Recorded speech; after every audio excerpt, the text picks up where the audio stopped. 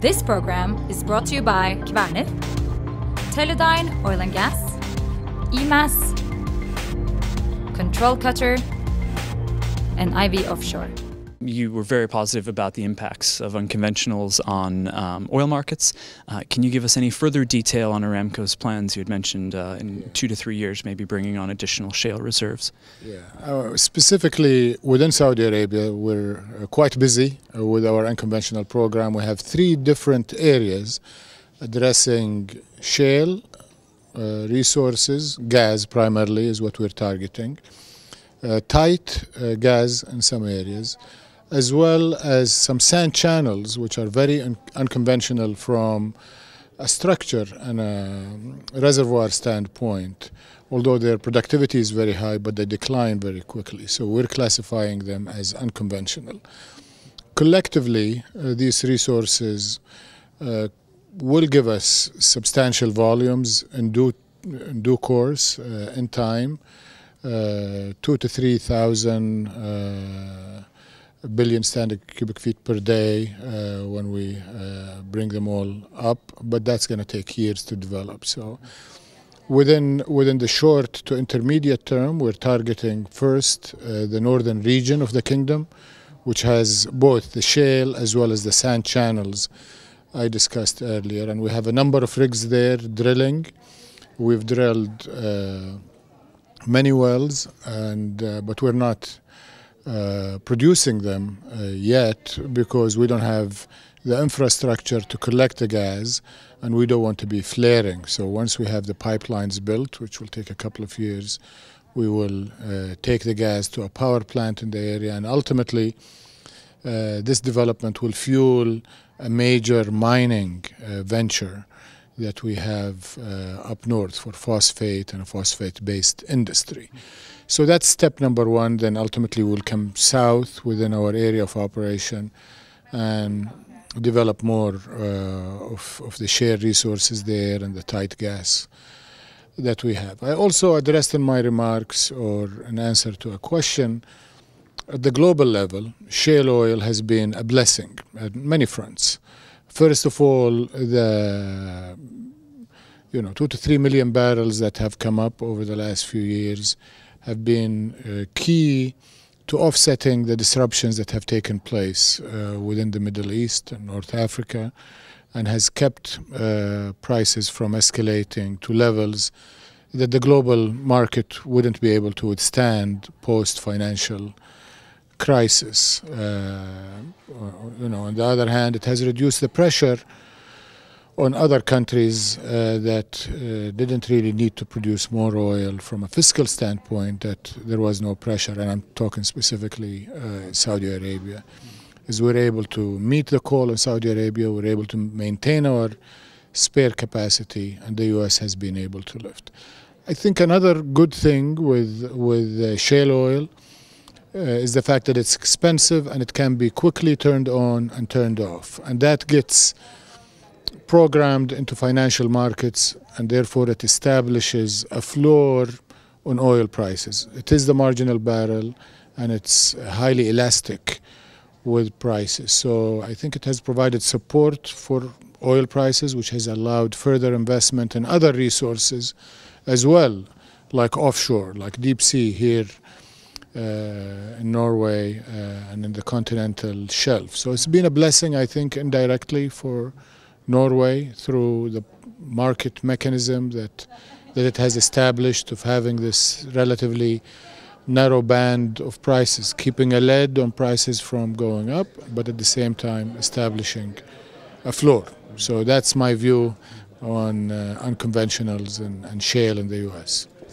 And you mentioned offshore. Um, can you update us on Aramco's offshore uh, efforts, and specifically, um, we're seeing costs creep up here in Norway, and that's impacting investment. Are you seeing similar trends where you're drilling?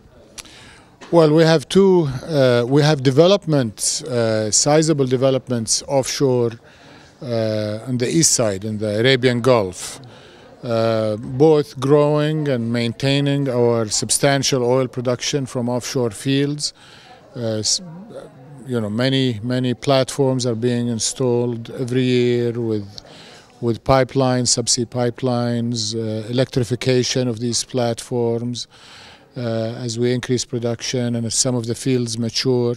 But we're also having grassroots developments uh, in, in, uh, in the offshore for gas. We have three major projects. Uh, Karan, which came on stream last year, 2 billion standard cubic feet per day during a 12 month ramp up period.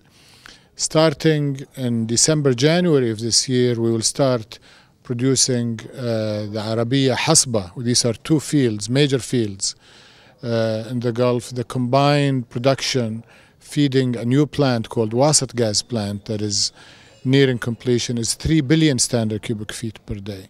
We're also in the early development of a new gas plant called Fadhili Gas Plant, which will be fed from another increment from Hasba, another billion standard cubic feet per day. So you put it in total, it's about 6 billion standard cubic feet per day from three major giant gas uh, reservoirs that, that we have discovered or fields that we have discovered are and, and are well advanced in developing and producing them. Has it been uh, expensive to develop? Yes, but we've been able to mitigate it by bringing in some advanced technologies. For example, Arabiya and Hasba, we brought what we call uh, large bore wells. They are the largest of their type, allowing us to flow some of these wells uh, up to 400 uh, million standard cubic feet per well. So that's allowing us to reduce the number of wells reduce the number of platforms, reduce the pipeline uh, network uh, in the offshore field, but it has also required us to do two things. Number one, develop technologies that did not exist and work with the supplier industry to develop new tools, new products, new uh, Christmas trees that, that are going in on, on these large wells, and new completions uh, for these. And they're high temperature, high pressure, by the way, so they're not easy uh, fields to uh, to produce. But it has also required us to take risk. You have to take risk. You cannot break paradigms and do things differently without taking risk. And uh, our technology developers, our petroleum engineers uh, have been uh, bold and we have supported them as uh, the management of Saudi Aramco and taken those calculated risks, which has allowed us to bring the cost down from what it would have been. But despite these efforts, costs are up. Costs are up. What is costing us today to develop a barrel of oil or uh, you know a BTU of gas is easily twice what it was 10 years ago. And I think part of that is the supply chain bottlenecks. We have been going through an expansionary phase in, in, in our industry, uh, and that has stretched some of the suppliers. And what we need to do is call on our suppliers to invest for the long term. We're, the industry is going to be here for decades and generations to come. And, and we need a, a robust, uh, strong supply industry, whether it's the shipyards, whether it's the fabrication yards, whether it's the EPC contractors, uh, the service companies. Uh, they all need to build capacity and be uh, with us for the long term. They, they need the assurance from us that we have the workload, and I, I am giving them that assurance from Saudi Aramco's side, and I think all other operators need to do the same so that our partners uh, also invest in their own uh, capacity.